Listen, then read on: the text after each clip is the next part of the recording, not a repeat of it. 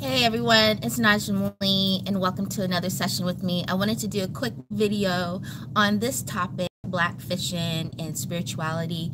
It's been a major topic on the news, on a lot of TV um, talk shows such as The View. I'll put on my socks while I'm talking to you guys. Um, so I want to bring a perspective from um, spirituality and looking at this in this particular girl who is the highlight of this story um, because black fishing has been around for a very long time. Um, it's just that we've coined a phrase now. We coined what it is. Um, same with catfishing. Um, same with uh, so many other um, phrases and words that have been used. Uh, hold on, let me turn this up. Oops. Sorry about that. uh, trying to turn this up. Okay. Uh, All right. So, yeah. That's what happens. You start and you trying to fix in the middle of something. So I apologize uh, again. All right. Um, so I wanted to discuss it today and um, to put my spin on it, um, especially from a spiritual point of view. And um, if this is your first time um, joining me, welcome, welcome. I'm Najaam Lee. Check out najaamlee.com. That is my website for NL Art and Healing Temple. I'm a spiritual life coach.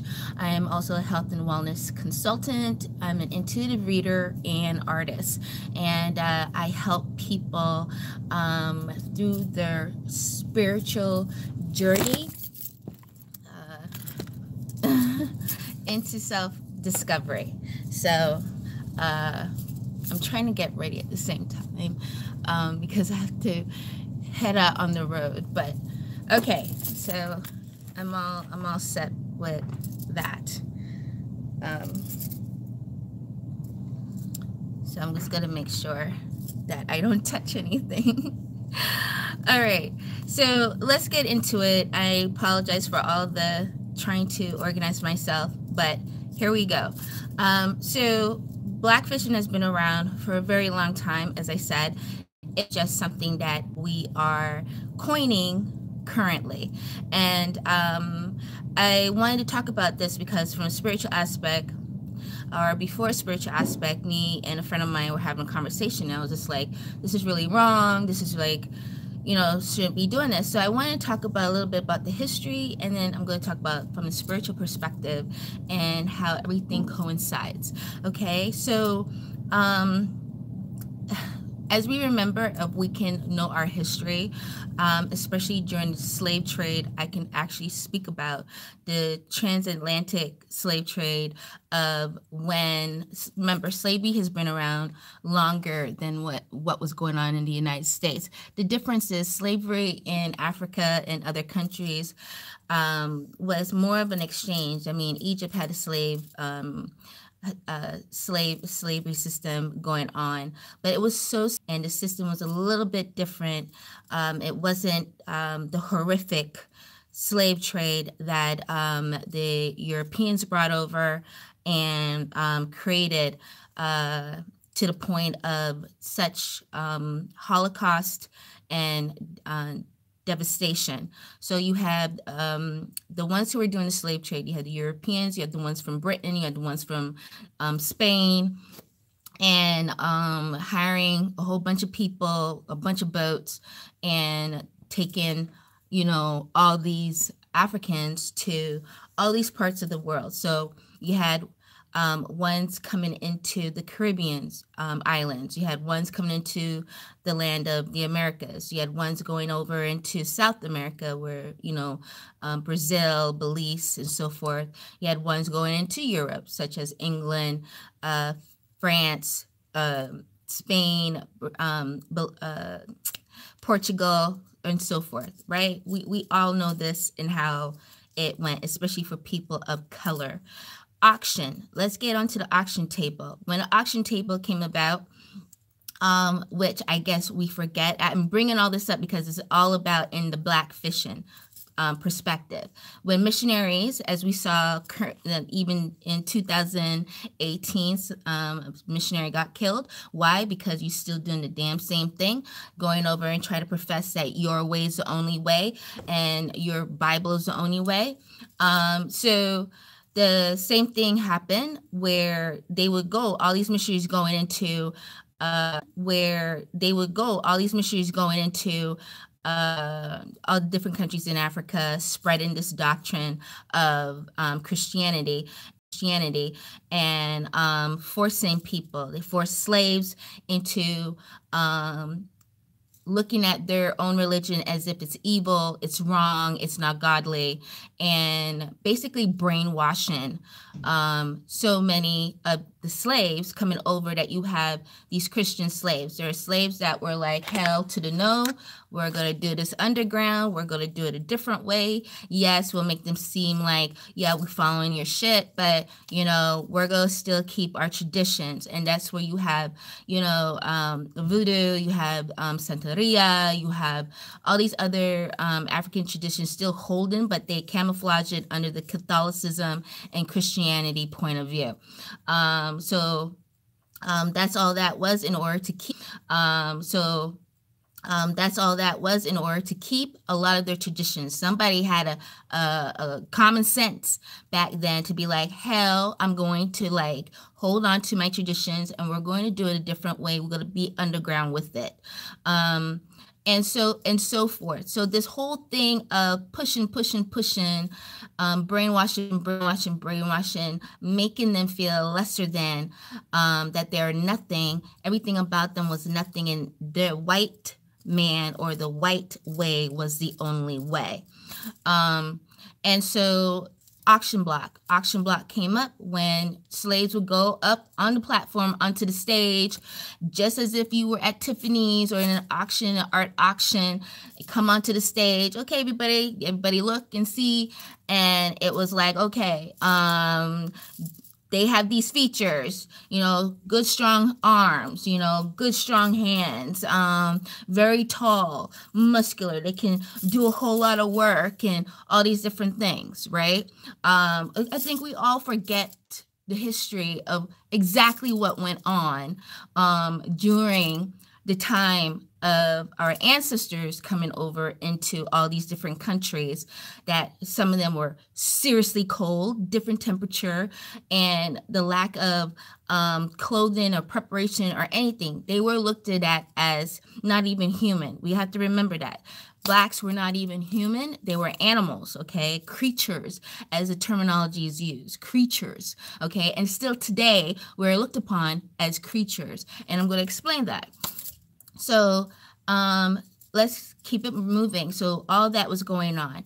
When now they came onto the plantation of who they're going to serve, right? And having them dress in the cotton clothes that were given to them, the scraps that were given to them to wrap themselves. Um, especially in when it came to the women um, and the mistresses of these houses, right? Um, of uh, telling um, especially if they're going to be in the house, the Negroes that were in the house, um, the slaves that were in the house, you had to look a certain way. Okay, your big butt cannot be like showing like it's big butt.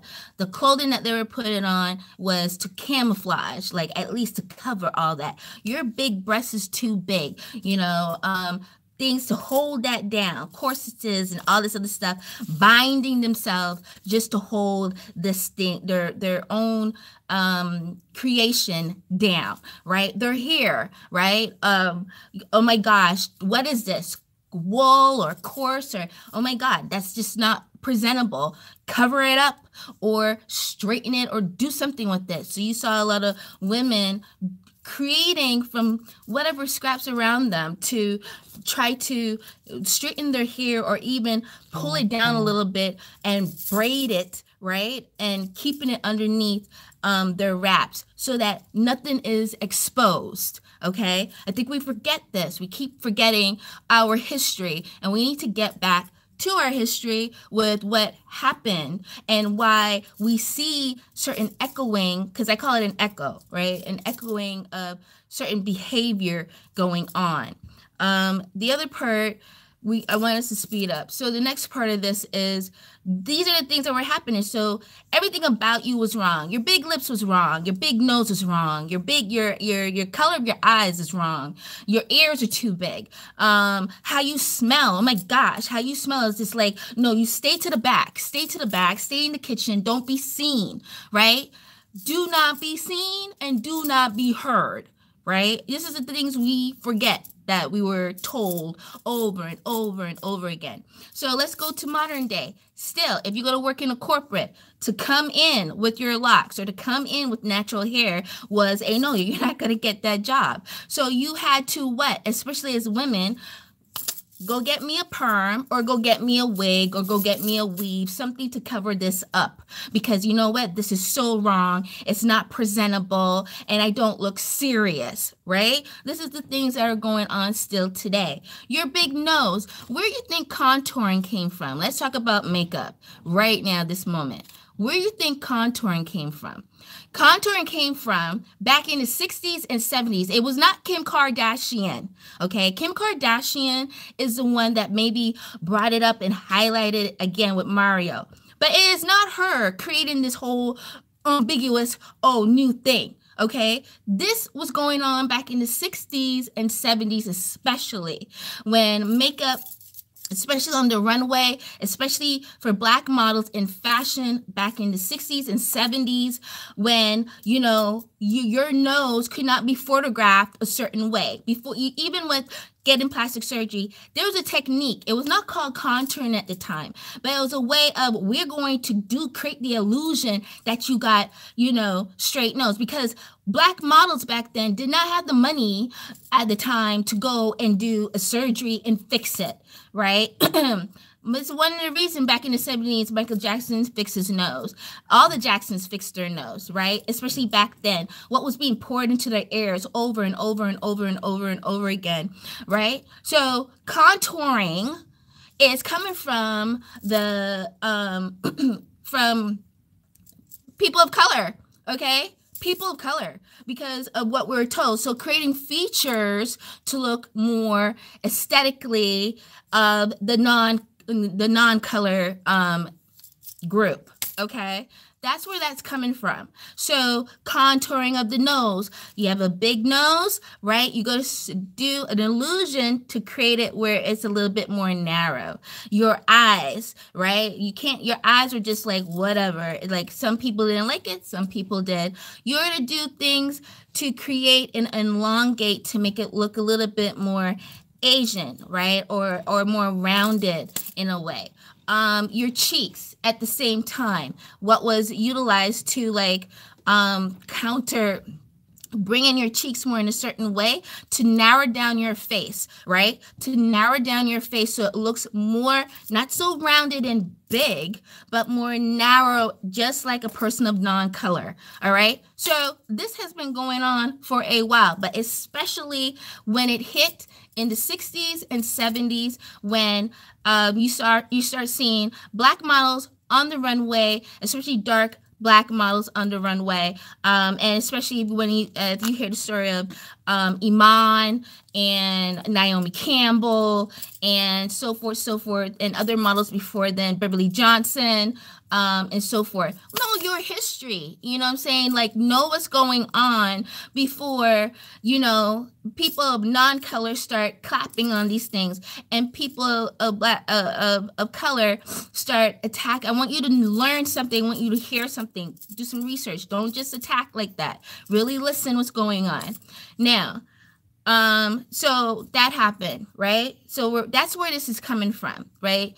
Uh, the contouring and stuff. And then we really got good, especially I have to say, the men of the gay community. Thank you very much, you know, because they were just, especially black men who were um, in the fashion world, in the art world, music world, and were the ones dealing with um, the the style and costume and putting together, had such technique of making a woman, especially of color, look really good, you know, and stand out on that runway. Okay. And in those pictures, like high five to you guys, like high five, man. Y'all had taste, y'all had class, and y'all studied.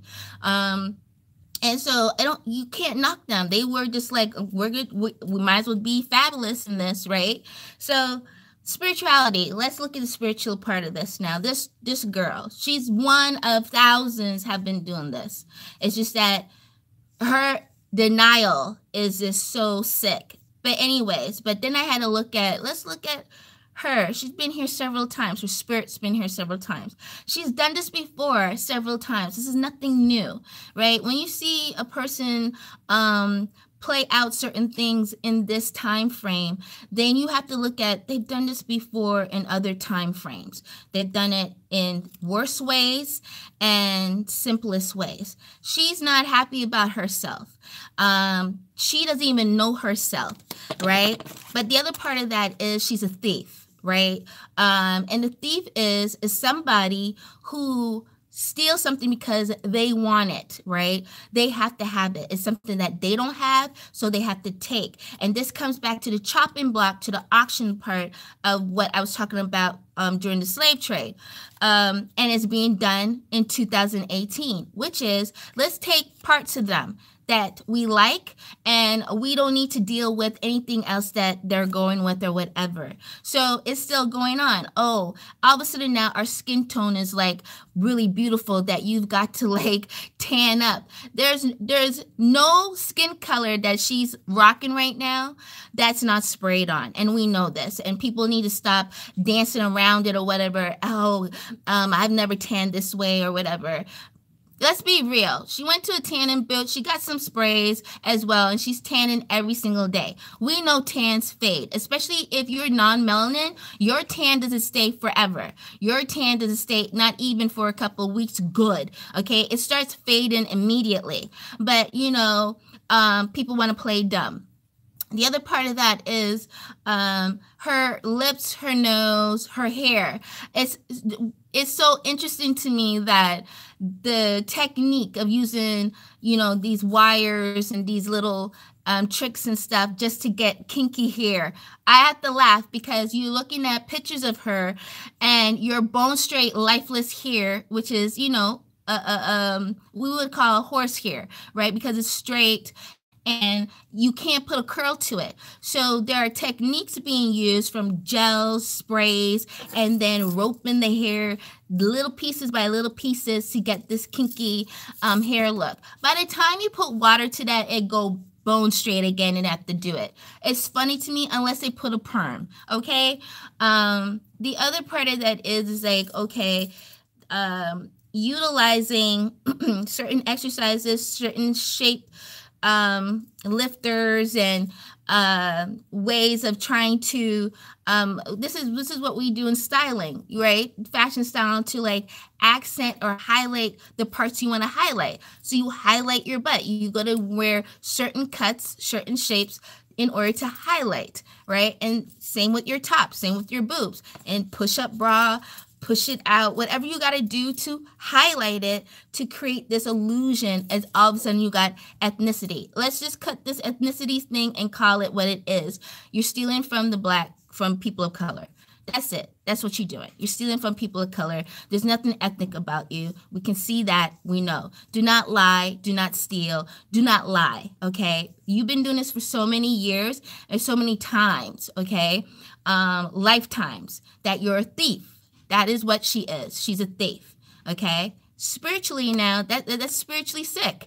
She's spiritually sick, and she'll keep on coming back over and over, and she's going to keep on doing this until she wakes up and start accepting who she really is. Um, and that's the fact about it. Um, she doesn't know herself. This is a person that's blinded, has no idea of who she is, and we cannot um, tiptoe around it. Let's talk truth. She's a thief. That's what that is. When we were put down and uh, our ancestors were put down, they're doing it today. Remember, the bloodline is still continuing. DNA goes on to generation, generation, and generation. So that DNA of doing that auction thing too, um, humans, they're going to still do it on and on until somebody changes up um, the cycle, right? And really, really push through and not continue that DNA. Um, and so that's what what it is. To me of, of what it is it's disrespectful yes but at the same time she's sick. She's spiritually sick and she's still going to continue to do this. So um the whole point of what i'm saying is don't get so caught up in it. That's just her life path right now.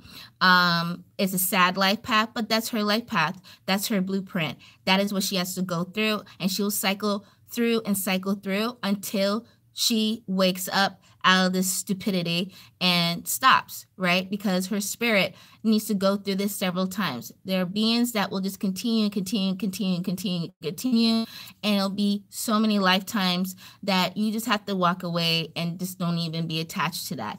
Dropper, that's not a person that's a friend they will never be a friend to you um, because they're a thief. A thief will always be a thief. There's no way that they can be a true friend. Something that you have or something that the next person have, they will find a way and take it. So that is what she, that that is the character and it's the being of who she is. And until she cycles through several several lifetimes, until that changes, it won't change, right, guys? So you have to walk away from her and do not allow um, her to uh, disrupt your life and what you have to do here. Everybody giving her all this highlight or whatever, this energy, and the energy of this, a black fishing, um, as we coin it now. And now it's something, there's so many hundreds of thousands of people of non-color have been black fishing for hundreds of years okay? It been going on secretly wanting the skin color. Oh what do you use on your face? How your skin is so smooth. What do you use you know for for um you know skincare? And they've been copying and copying and copying and copying and copying and copying the stealing stealing stealing stealing. That's what they know. When a, a thief steals that's all they know what to do is steal until they disrupt that pattern and change it and start really focusing on what their creativity, their truth. Being a thief is not their truth, it's just a camouflage because they do not want to face their truth. And that's what it is, y'all. All right. So I hope you um, got something from this today.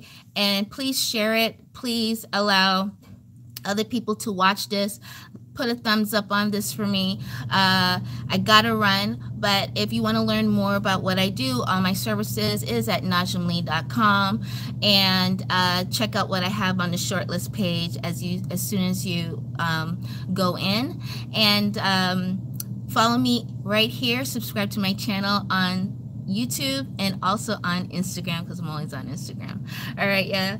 I love you guys so much. Thank you.